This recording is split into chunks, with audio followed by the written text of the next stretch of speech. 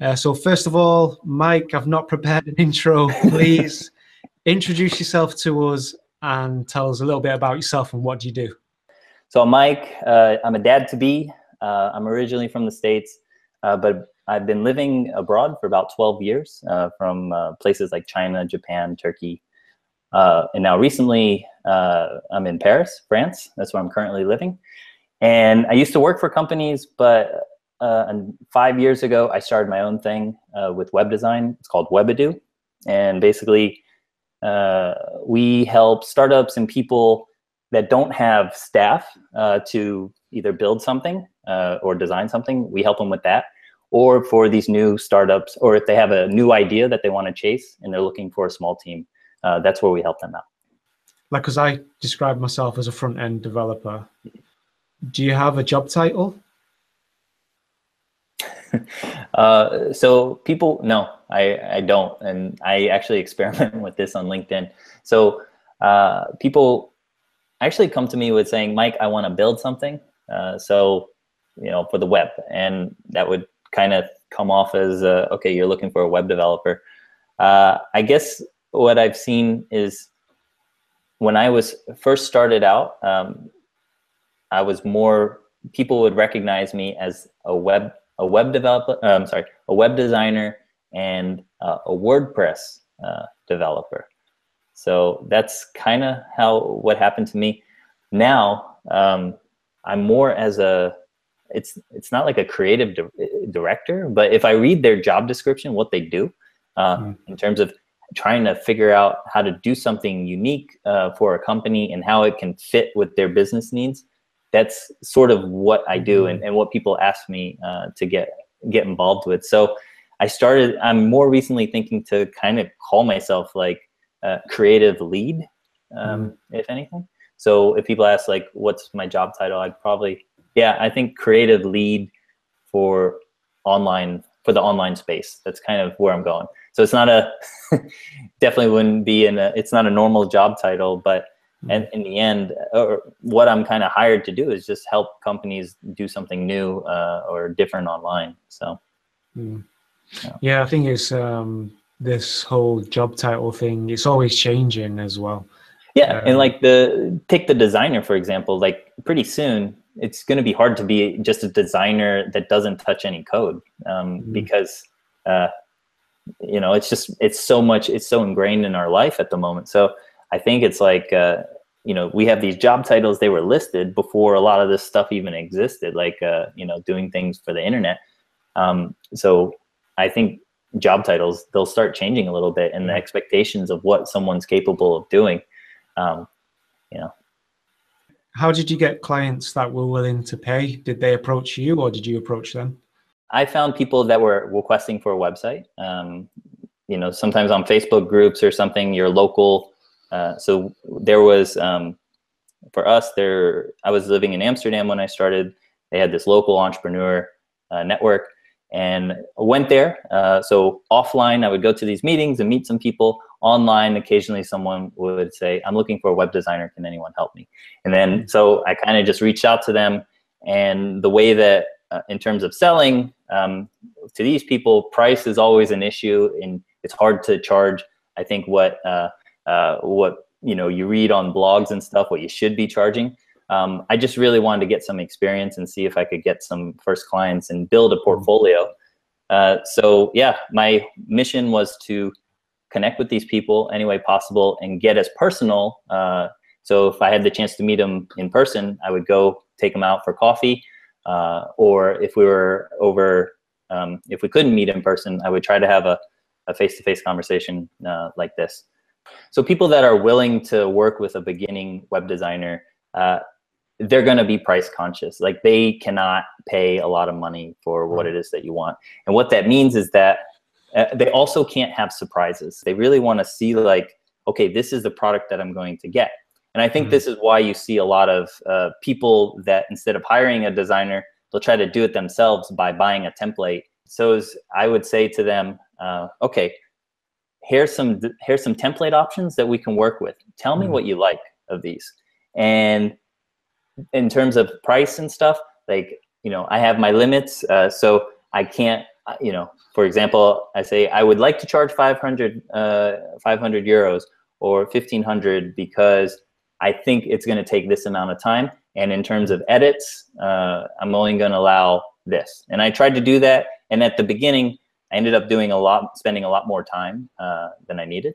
But I mm. felt like just going into this sort of, I'm more or less going to have, this is the final package of what you're going to have. Uh, I found that help very helpful. For anyone who's watching who is wanting to go the freelancer route and make their own websites for their own clients, what advice would you give them in terms of making good sites? Go as simple as possible and go in with the, with the idea that you um, that you're the expert and that you know more uh, than uh, the people that you're going to be serving. A lot of a lot of times, what I see or what happened at the beginning was that the client says, "I need this, this. I need six pages for my web page for my website. One page for this, one page, uh, you know, about page, a service page, a contact page. I need my blogs. My blogs need to do." Uh, what was it? I need a nice sidebar for an opt-in uh, where there's going to be an email and I need that to be connected to my email newsletter. And like they have this whole picture. And the reality is, is you ask them, how much time you have for this mm-hmm. thing that you're going to do? How much are you going to write? Are you going to write a newsletter once a week?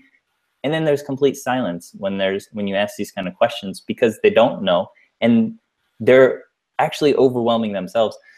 Uh, what I found is this: is that most uh, smaller companies have this vision because they read things uh, from on, from the internet, thinking that this is how you should run your business. And I would mm. I would suggest to challenge it. What I've seen is you make one a, a one page landing uh, website can be super powerful and can do exactly what uh, what a company would want would expect from a website uh, to do. And so simplify if whenever possible. I think that's a great way. Don't just clients will be thinking stuff because they read it. Challenge them and think uh, maybe propose uh, yeah different options. Yeah. I mean, so much is going on in my head there, Mike. Uh, just memories of situations in the past where mm-hmm. I've worked with clients and they're afraid of white space. They want to cram everything above the fold. oh, yeah and they don't want to let the copy breathe and create this sense of uh, a journey, taking yeah. taking the uh, visitor on a journey through the site to find out. Yeah, uh, yeah. I've I've had yeah I've had the same thing. It seems that uh, the older generations tend to have this idea. This is how websites everything should be above the fold. You shouldn't have to scroll or That's something. Right. Yeah, I, I find it funny. Um, yeah, what I've because this kind of backfired on me with uh, you know just following orders and saying okay i'll do it just to make the client happy um, in the end what makes a client happy is that they that their business because they, they're not in the business of making web designs. They're in the business to do whatever they're they're having. So the website is their tool. And basically what it as long as you're supporting that and you're giving good reasons why you think your actions are going to help support their business i think that's a big thing that uh, I think they will be happy or they'll be satisfied. Yeah. So let me ask you this: uh, Where do you stand on this then? Because, like, I've heard the the phrase "good design is worth fighting for," uh-huh. and you're absolutely right. You need to explain why you're suggesting what you're suggesting. Uh-huh. But how far do you take it if they're not taking you up on your suggestion? Is it a case that well, they're the one paying the money? So, you know, at least I stood up for it, but, you know, it's your money at the end of the day. So it's your call. So I haven't had, yeah, I haven't had a, um, like a full out sort of battle on this uh, right. where um, one, one side won and the other lost. But for example, uh, designers will get into this. Uh, you design something, but the copy is terrible, mm. right? And so then the client will come to you saying, my website isn't good because the design is bad. But is it the design or is it the story that you're trying to tell? Yeah. So I've I've run into this a few times, and so uh, this is so the way I combat it is this: is that and, and and normally when when I'm just starting my uh, meeting with people or or the relationship with the client, I tell them, look, I want us to be transparent and open about things mm. and honest. And there's going to be moments where you don't agree with some of my stuff, and I'm and I'm pretty sure I'm going to be thinking something else, and we're probably going to have sort of a clash. But I'm going to do my best to my idea you know my goal is to help support your your goals with a website or whatever we're building. And let's just be open about that. Let's talk about this. And i found that so okay so that's sort of what we kind of you know set that stage at the beginning yeah. and what i found is that during the relationships when there are these moments of differences it just helps and yeah. in the end uh, we find we find a way to make it work uh, I guess what you the next step would be okay. We'll measure your results. Uh, so it's actually something I'm thinking about now because I made a big change to uh, one of our clients' site where I'm thinking maybe I should figure out like you know what's the difference of people signing up that month before versus the month when we uh, made this change.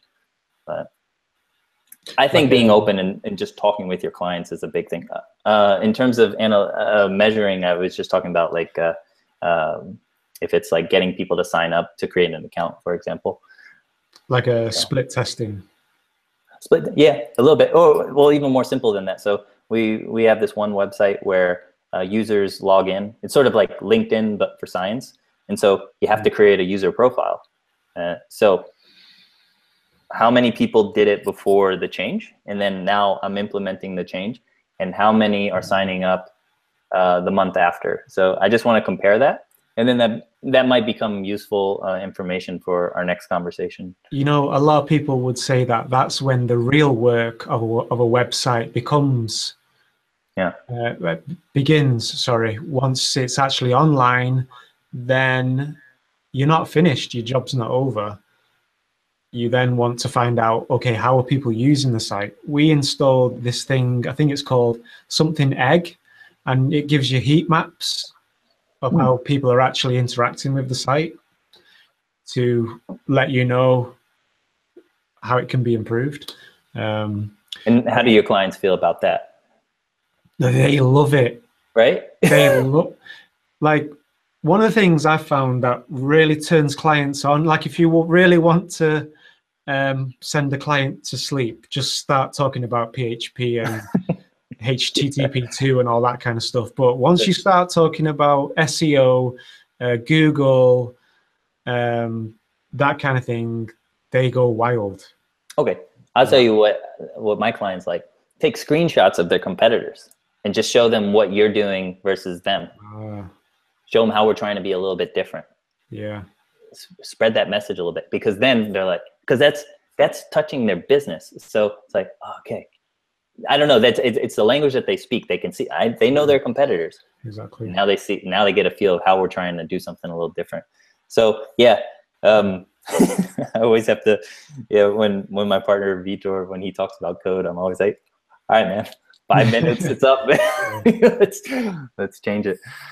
So Mike, how can people reach out to you and follow your journey online? Yeah, cool. So first off, I just want to say thanks to everyone and thanks to you, Mike, for letting me be on the show. Um, if uh, you want to get in touch, uh, my website is webodew.com. I'll send the link. Uh, because of you, I'm getting inspired to create my own uh, YouTube channel. And so uh, I'm hoping to have uh, some more videos out. I already have one, but there's nothing really there. I think I'm this idea of sharing journeys, talking more about what goes in the, the, the daily life of being uh, what it is we are, I think is pretty neat, and I think it'll help for clients to see to get a sense of you know our characters, uh, who we are as people, and then they might want to work with us.